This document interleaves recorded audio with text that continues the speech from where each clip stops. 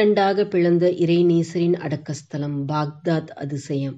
அல்லாஹுவின் இறைநேசர்களுக்கு அவர்கள் இறை பெய்திய பின்பும் மண்ணறையில் அவர்கள் உயிருடன் வாழ்கிறார்கள் என்பதற்கு சான்றுதான் இந்த ஹதீஸ் புத்தக பதிவு. ஈராக் நகரம் பாக்தாதில் ஹசரத் ஹிலரு நபி அலைசலாம் அவர்கள் இமாமுல் அலம் அபு ஹனீஃபார் அலி அல்லாஹு தாலா அன்ஹு அவர்களது ஆன்மீக நிகழ்ச்சிக்கு தினம்தோறும் காலை வேளையில் ஆஜராகி ஷரியத்துடைய பாடங்களை கற்று வந்தார்கள். அபு ஹனிஃபா அவர்கள் இறைப்பேதிய பிறகு இந்த நிகழ்ச்சி நடைபெறவில்லை. ஹிலூர் அலைசலாம் அவர்கள் அல்லாஹ்விடம் உத்தரவு பெற்று அபுஹனீஃபா அவர்கள் உயிருடன் இருந்தபோது நடந்தது போலவே அவர்களது இறப்புக்கு பின்பும் அவர்களது நிகழ்ச்சியை தான் கேட்டு மகிழ வேண்டும் என எண்ணினார்கள்.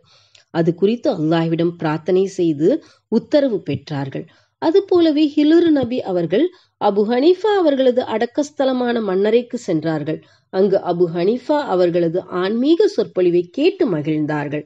இந்த நிகழ்வை இமாம் இப்னு ஜவுசீர் அலி அல்லாஹான்ஹு அவர்களை கொண்டு ஷபதாயிவு என்னும் ஃபிக்கு கிதாபில் வருகிறதாக ஷேக் ஹசனுல் அதவி மிஸ்ரீர் அலி அல்லாஹான்ஹு அவர்கள் மஷாரிக்குல் அன்வார் தனது அறுபத்து ஒன்பதாவது பக்கத்தில் பதிவு செய்துள்ளார்கள். நான்கு மதுஹபுடைய இமாம்களில் ஒருவராகிய அஹ்மது இப்னு ஹம்பலீர் அலி அல்லாஹு தாலா அன்ஹு அவர்களது மன்னரைக்கு சென்ற ஹவுஸ் நாயகம் முஹைதீன் அப்துல் காதர் ஜீலானி அன்ஹு அவர்கள் அன்னாருடைய கபூர் ஷெரீஃபுக்கு எதிரில் அதபுடன் நின்று அஸ்ஸலாமு அலைக்கும் சங்கைக்குரிய இமாம் அவர்களே என்று அழைத்து சலாம் சொன்னார்கள். உடனே கபூர் ஷெரீஃப் இரண்டாக பிளந்தது.